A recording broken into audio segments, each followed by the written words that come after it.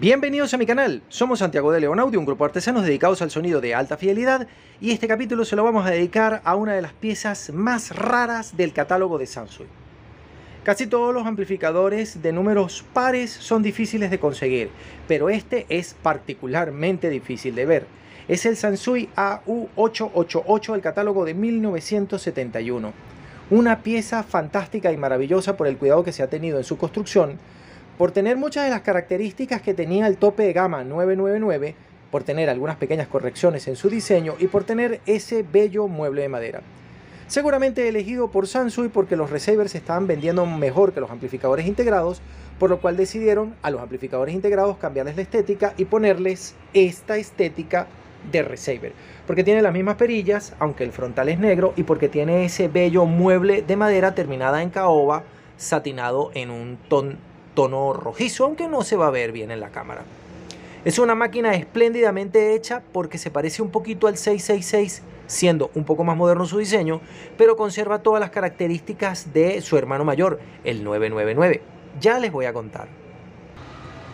Este amplificador no es un tope de gama, pero sí es un amplificador de alta gama porque conserva todas las características avanzadas de su hermano mayor. Tiene el selector de entrada, el selector de modos, el control de volumen, su control de balance, su control de audibilidad. El bucle de grabación es completo, pero ha perdido el lujo de las lucecitas que nos indican cuál es la señal de entrada que está activa. Ya no trae la bordura completa de aluminio cepillado, sino que tiene este nuevo diseño que en la cámara no se va a ver bien, pero les puedo decir que es realmente muy bonito y a mi vista es más agradable. Conserva el triple control de tonos, aunque ahora no nos va a permitir seleccionar las frecuencias de corte, siendo su panel de control de tonos más parecido al del Sansui 8500 que al del Sansui 9500. Pero conserva, como yo comenté en el capítulo dedicado al 999, el selector de la frecuencia de corte para el rango medio porque es muy importante para poder compensar las limitaciones que tenían los altavoces de Sansui. Aunque aquí no hay ninguna pieza Sansui, hay piezas de otras marcas, pero el caso es el mismo. El problema está en que los midrange de aquella época y los altavoces de dos vías tenían un exceso de respuesta sobre los de 1.5 a 2.5 kHz. Entonces era común que el fabricante y en particular Sansui nos permitiera cortar esa gama de frecuencias y por eso las frecuencias de corte son de 1, 1.5 y 2 kHz para poder atenuarlas un poco y hacer que la respuesta en frecuencia del altavoz sea un poco más correcta. Tenemos filtros de corte de segundo orden, pero con solo dos frecuencias, es decir, desconectado o con, aquí creo que son 50 Hz y aquí creo que son 8 kHz. Tenemos un selector de altavoces completos que sigue permitiéndonos tres parejas de altavoces como todos los equipos grandes de su serie. Este bellísimo Sansui AU888 entrega 45 vatios eficaces por canal en carga de 8 ohmios. Se supone que se le pueden conectar tres parejas de altavoces, pero yo recomiendo ampliamente que no hagan eso, porque si bien es generoso su diseño, no es amplísimo en corriente.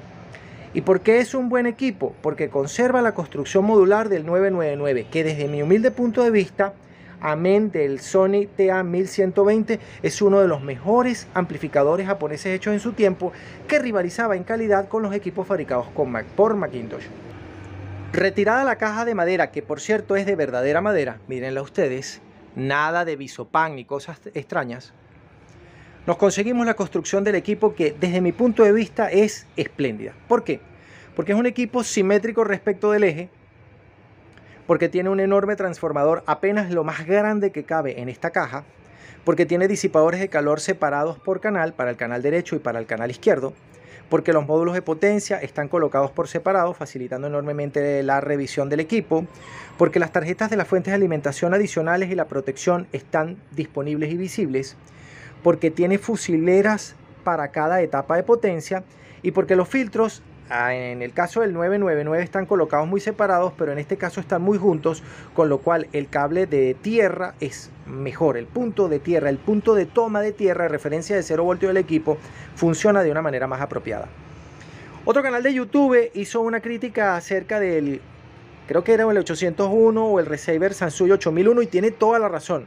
Sansui, por alguna razón que yo no entiendo, entre 1968 y 1972 se volvió un pastel con lo de la referencia de tierra y no las hizo apropiadamente. Me pidieron un comentario acerca de ese maravilloso canal de revisión y reparación de equipos de audio.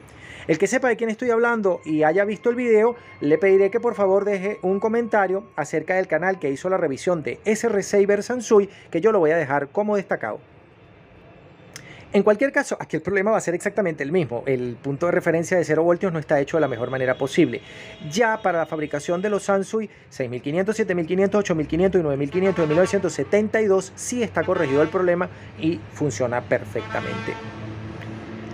Chasis de hierro galvanizado, disipadores en perfiles de aluminio anodizados en negro, transistores de cápsula metálica grandes, espléndidamente bien instalados, una tarjeta con componentes electrónicos de primera, de hecho todos están buenos aún hoy, algunas de esas piezas son Sanken y otras son Sony, como ya veremos, y el panel de conexiones, todo lo que está aquí está protegido con un blindaje para que el ruido electrónico producido aquí no interfiera con las entradas de señales, que son los terminales RCA que están aquí, ni la conexión eléctrica produzca interferencia al interior del equipo. Ya vamos a ver eso. Ahora vamos a ver este espléndido equipo desde atrás, para que vean todo lo que tiene. Aquí llega el cable de energía, las tomas de energía y los fusibles de la etapa de potencia y está el selector de voltaje de este 888. Aquí puede llegar un poco de ruido electromagnético proveniente de la red eléctrica que puede estar contaminada con picos de voltaje. Para que ese voltaje que tiene ruido electromagnético no interfiera con el funcionamiento de nuestro equipo, hay una tapa aquí de blindaje que está separada hasta aquí.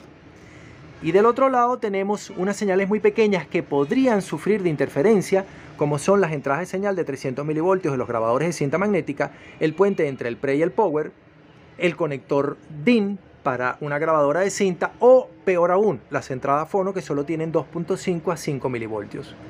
Detalle de buen gusto que tienen los amplificadores Yamaha CA800, CA600, Sansui AU999, 888 y creo que también el 777. El selector de impedancia de carga. Como yo les he comentado un montón de veces, las viejas cápsulas de baja inducción tenían una impedancia de salida de 25 a 50 kilómetros. Entonces, este interruptor es necesario para adaptarse a ellas. Pero este fabricante, serio como el que más, pensando en el futuro, sabía que habrían en el futuro cápsulas de alta inducción y por eso tenemos una impedancia seleccionable de 100 kilo que hoy en día es la que deberíamos utilizar. Aquí tenemos las tres salidas a speaker. Estos terminales se ven un poco endebles, pero bueno, tienen 60 años instalados y siguen funcionando perfectamente, así que son maravillosos.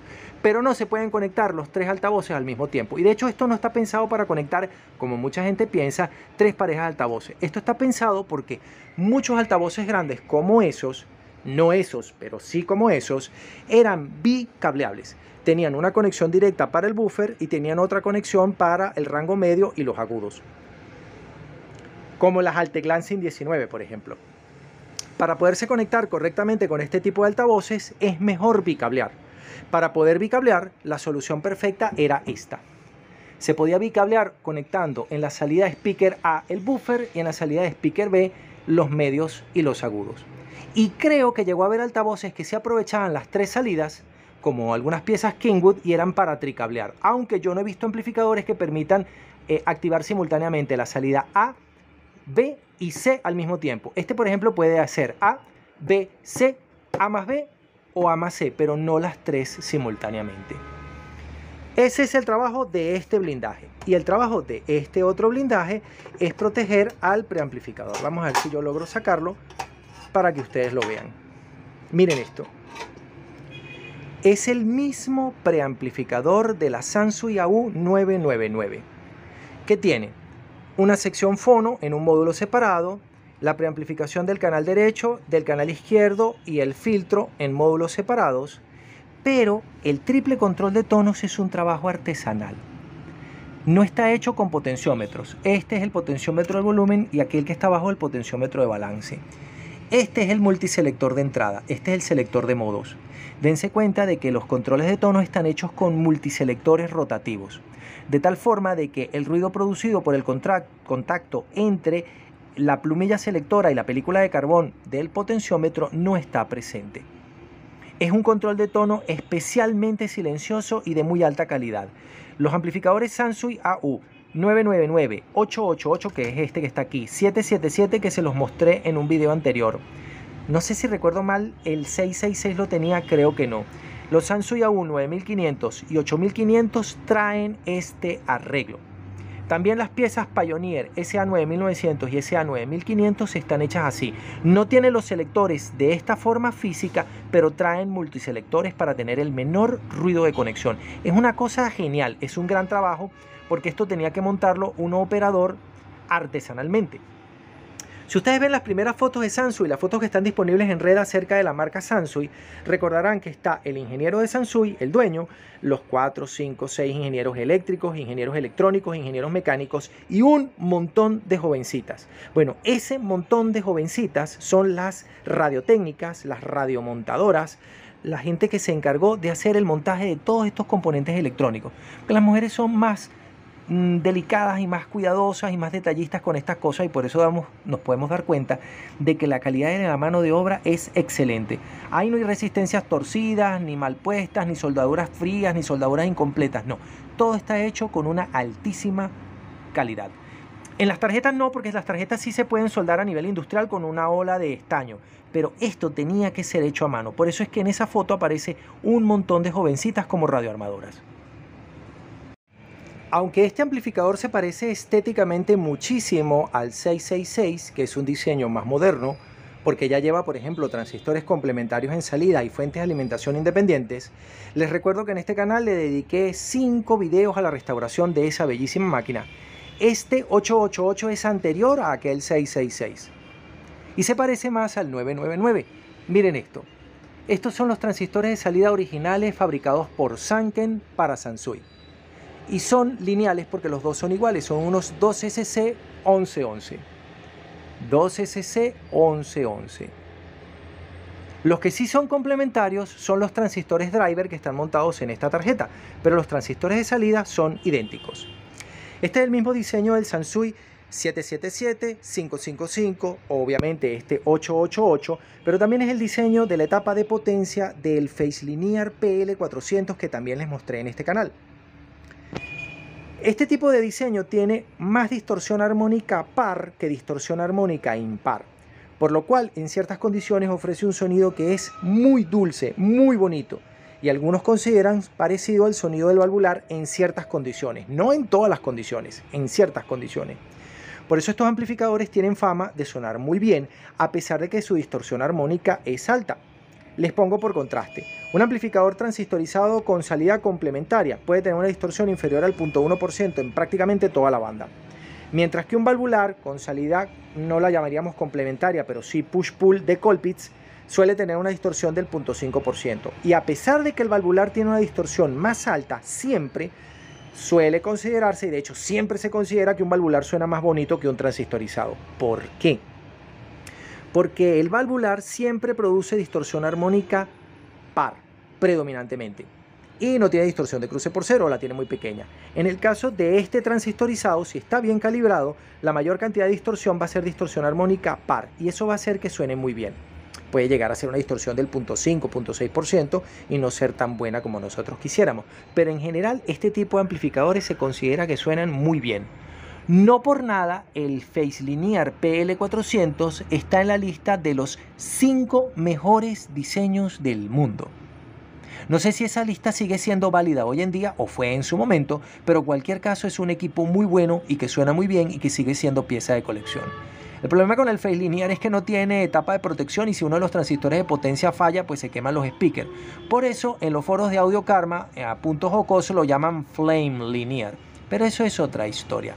Ahora les voy a contar cómo es la fuente de alimentación de potencia de este bello amplificador. Toda la potencia de este amplificador en particular y de cualquier amplificador en general, valvular o transistorizado, depende enteramente de la pieza más costosa de su construcción, y ese es el transformador. En este caso vemos un transformador cuadrado E y acorazado con sus dos chapas de blindaje, la superior y la inferior, y los cuatro tornillos que lo anclan al chasis. De ese transformador pasamos a un puente rectificador de cuatro diodos que debería estar montado aquí y como se pueden dar cuenta no está y luego se filtra ese voltaje con dos grandes capacitores. que haciendo un cálculo muy sencillo, después les mostraré la fórmula, deberían ser piezas de mucho mayor valor que estas que Sansui ha puesto solo de 4700 microfaradios por 50 voltios. Acá las van a poder ver. Vamos a aplicar un poquito de zoom. Mírenlas.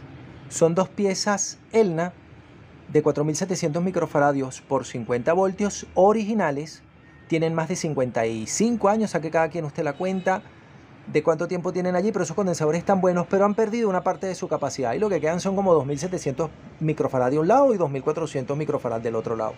Aún así son capaces de hacer que el amplificador suene, pero los bajos van a ser terriblemente recortados y secos.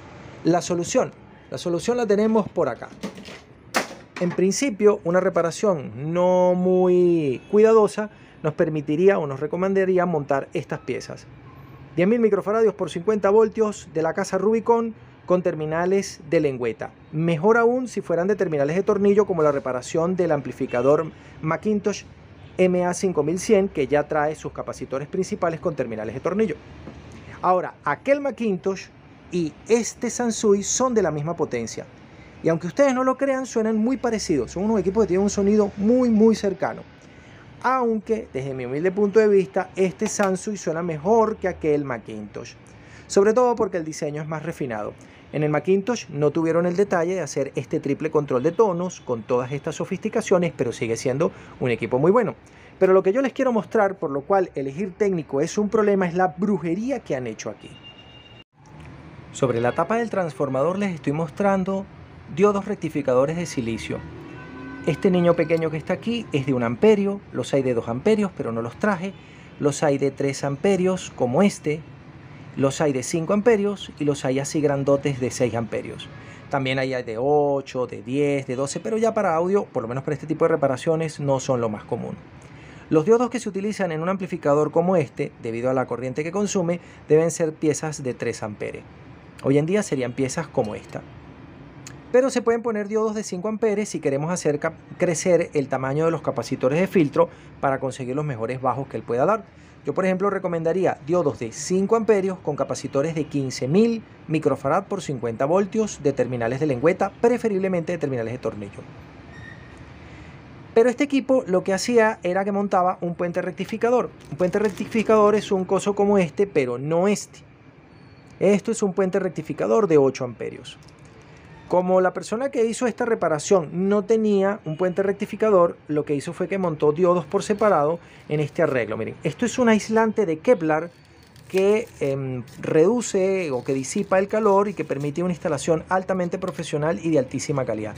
Pueden ver aquí cómo se utiliza una tecnología de la NASA para hacer este puente rectificador absolutamente fantástico y maravilloso. Son diodos de 3 amperios, tal cual como los que yo tengo aquí con lo cual es ampliamente recomendable y funciona muy bien y tiene este acabado absolutamente fantástico y maravilloso que permite disponer de unos diodos que no hay ningún problema de montarlos en, esta, en este material, pues este es un material del que se hacen los chalecos antibalas que soporta altas temperaturas y bueno, nada, es una reparación absolutamente espléndida y maravillosa. Y por supuesto, este amplificador funciona y suena, porque esto es una reparación buenísima. Pero por alguna razón, el propietario de este amplificador me ha dicho, oye, a mí como que no me gusta tanto que esté hecho así, pues esto es una tecnología demasiado avanzada para mí. ¿Será que tú me puedes poner un puente rectificador normal y un arreglo así como más, más tradicional? Porque a mí este Kevlar, este Kevlar que disipa el calor y este material grafeno 4.0 no me parece lo mejor. Hasta aquí este primer capítulo. Nos oímos y vemos en la segunda parte de la reparación de este amplificador Sansui AU888 del catálogo de 1969. Desde Santiago de León de Caracas, saludos y suerte.